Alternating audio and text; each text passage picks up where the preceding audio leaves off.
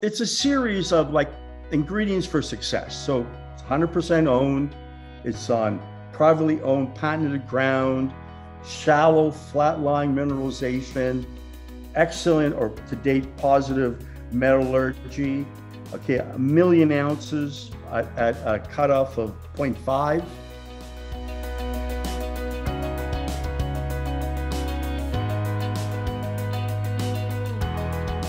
Well, hello, welcome to Assay TV. Today, I'm delighted to be joined by Paul Matysek, who is the executive chairman of Freeman Gold.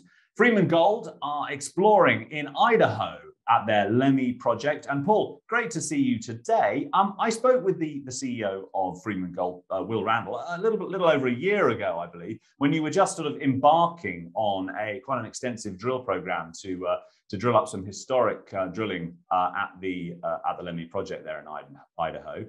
Fast forward one year, and you've got yourself an NI 43101 uh, compliant gold resource there. Do you want to tell us a little bit about the, the, sort of the history of the project and the process that you've gone through to, to get to this stage? Uh, absolutely, and thanks for inviting me onto your show. Uh, I'm speaking from Whistler, Canada today, and uh, enjoying a snow-felt day, and Seems like a great thing to do. So uh, the Lemhi Project in Freeman. Well, it's in Northeast Idaho in Lemhi County, so that's why it's the Lemhi Project. Uh, the company is called Freeman because one of the peaks you see in the nearby area is called Freeman Peak, and it's a, a towering 10,000 uh, foot tall peak that you can walk up to. And the Freeman Gold Project, the Lemhi Gold Project, historically started uh, in a placer mine area in the late 1890s and 1910s.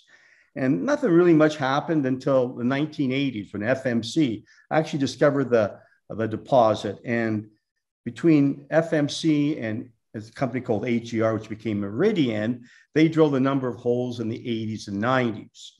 And then AGR, Meridian, was mining the Bear Track uh, gold mine and we're preparing to uh, to mine the Lemhi, uh, the oxide portion, once the bear track had been mined out, uh, when kind of Bre-X happened. Okay, and and so they kind of lost interest. There was a collapse in the gold market, and uh, and an Idaho man, businessman, picked it up uh, and bought it, and uh, and then he convinced Northern Vertex to buy 51% of it, and they drilled the, uh, in 2012 a series of holes that were quite prospective. But you know, Northern Vertex were more interested in, in developing their Moss mine, and so they sold it back to uh, the uh, back to the businessman.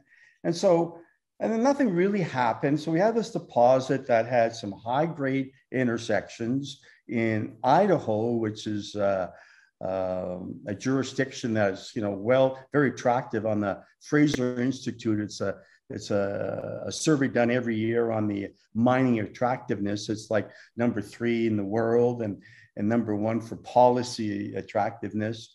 Um, and so in 2019, uh, Freeman, otherwise known before as called Lodge Resources, they made a purchase of, of this deposit, real estate deposit, real estate uh, asset deal. And, um, and fr- from that point on, the reason why it's so important is that because it's a real estate deal, it was buying a lot of patented ground, okay, which is privately owned. And so most of all the drilling was done on private ground. Okay. So, and that has a lot of good implications for getting permits uh, rapidly and quickly. So in 2020, as we as you just alluded to prior, uh, Freeman embarked on a comprehensive exploration program, which consisted of soil sampling, ground geophysics, IP magnetics. Uh, they did a lot of staking uh, around their area, and they did 7,000 meters of drilling, mostly infill drilling, to try to see if they can build a resource from all the historic drilling that was done to date. Okay. And so as a result of that drilling, they found close to a million ounces of I&I, 750,000 ounces of 1.0 grams per ton gold, if indicated, and about 250,000 uh, ounces of 1.01 grams per ton gold, as inferred. Okay. And what was most interesting, and they made the, they made the release of that information in uh, July of this year. Okay.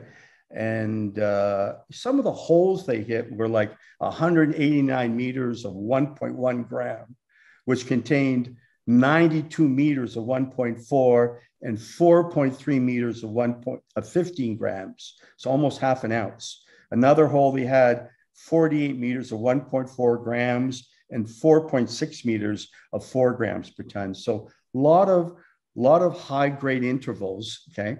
But what's most important is these were oxide and they were all shallow. They almost started all from surface. So, you know, when we did some metallurgical results in this year too, they, uh, they found that through a called bottle roll, bottle roll uh, analysis, that they were getting close to 95% recoveries.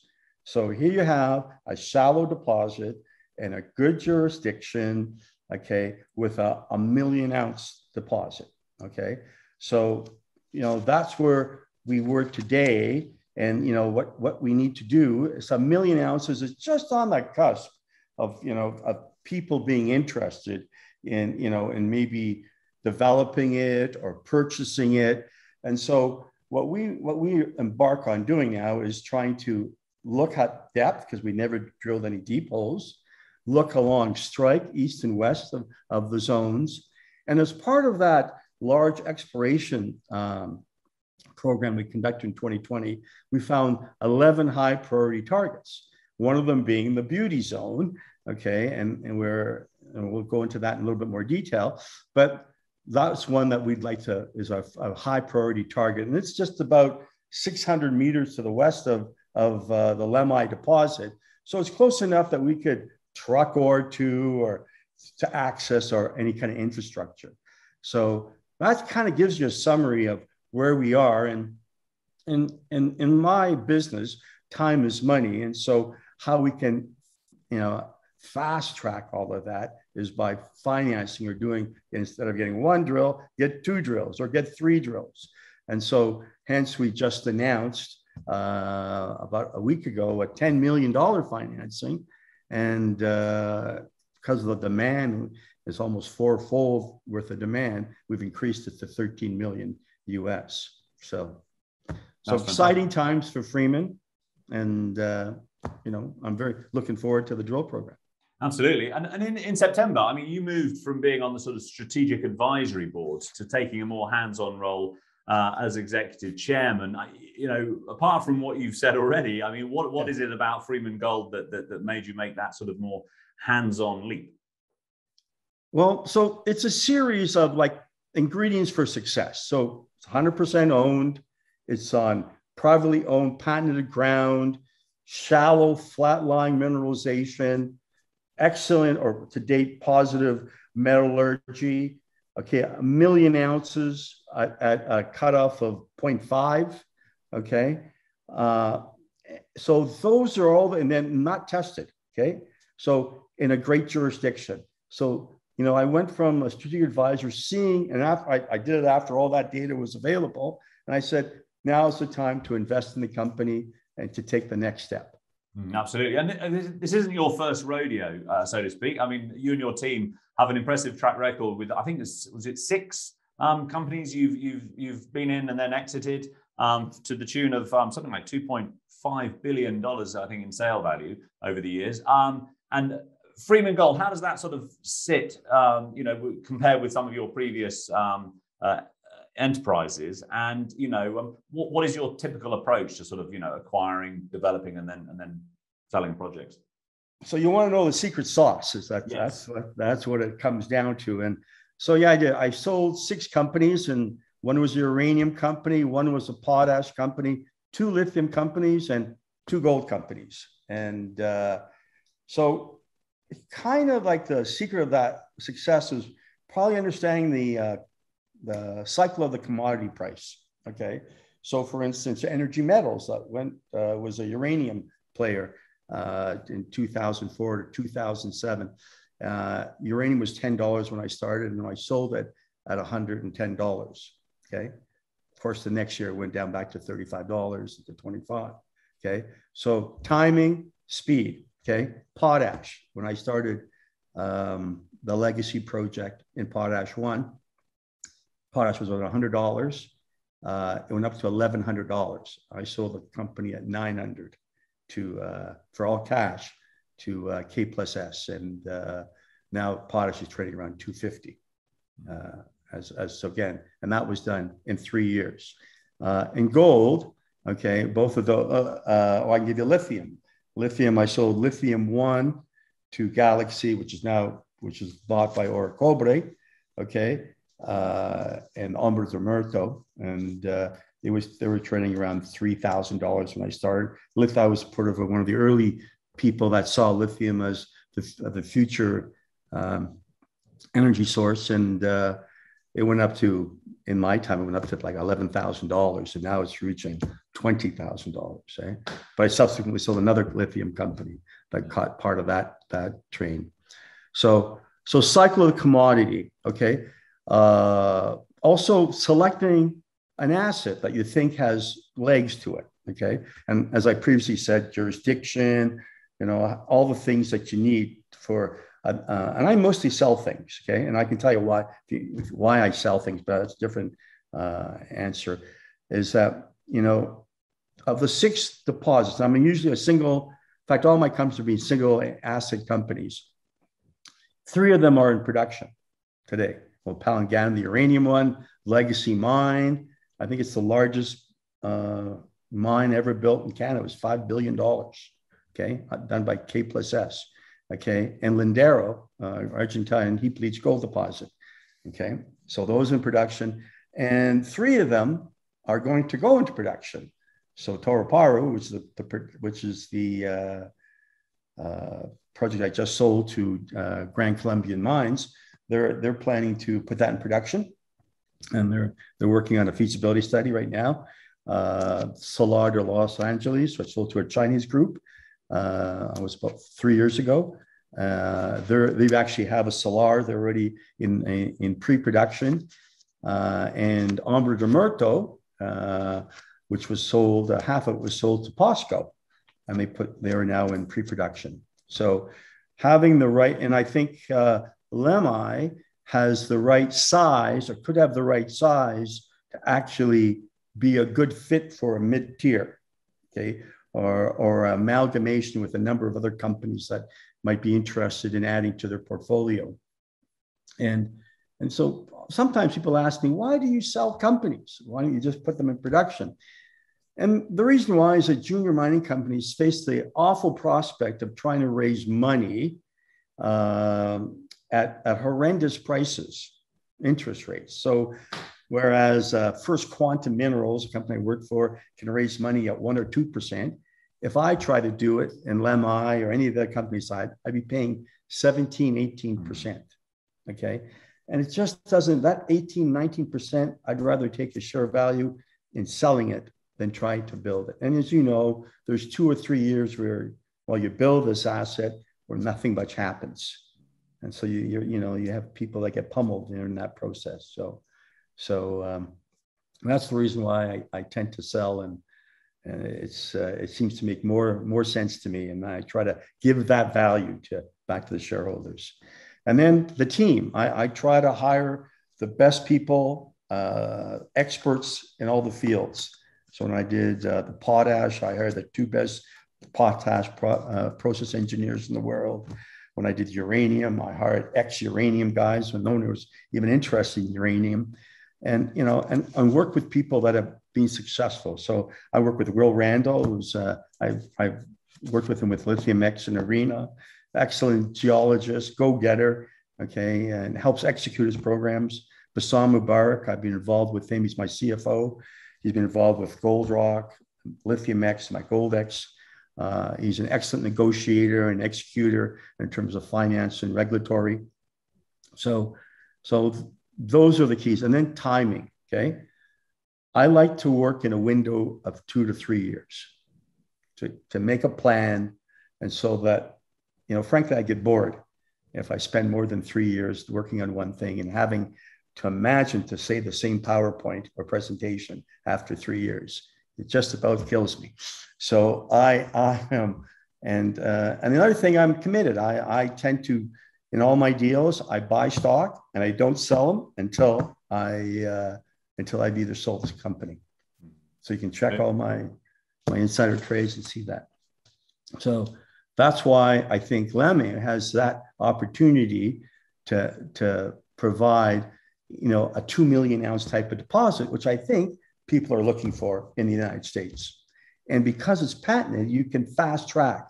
You can actually develop a lot of things on private ground that you can't do more on forestry lands or public lands. Mm, absolutely. So, the next steps for the company. I mean, you've, you've you know taken a year to get to this sort of million uh, ounce resource. You, you you you mentioned earlier you're doing the expansion drilling. What should people yeah. be looking out for in the next few sort of months? So, phase two uh, uh, drilling is going to start probably tomorrow. We have a drill on site. Uh, it's about a 4,000 meter program right now. That was before we announced the financing. And we've got three or four holes in the beauty zone, uh, probably four to 500 meters there. We're going to test, make some uh, deeper holes to see if we have any continuity at depth.